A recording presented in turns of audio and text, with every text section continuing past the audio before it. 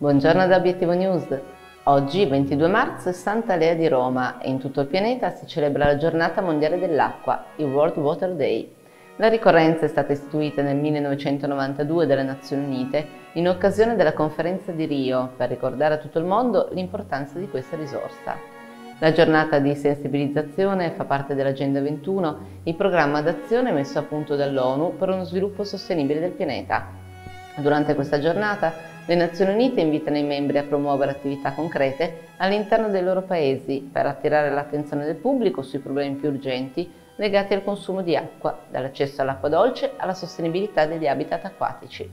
Secondo i rapporti ONU, attualmente 2 miliardi di persone vivono senza accesso all'acqua potabile. Uno degli obiettivi principali della giornata è ispirare l'azione per ottenere acqua e servizi igienici per tutti entro il 2030, sensibilizzando istituzioni mondiali e opinione pubblica sull'importanza di ridurre lo spreco di acqua e di assumere comportamenti volti a contrastare il cambiamento climatico.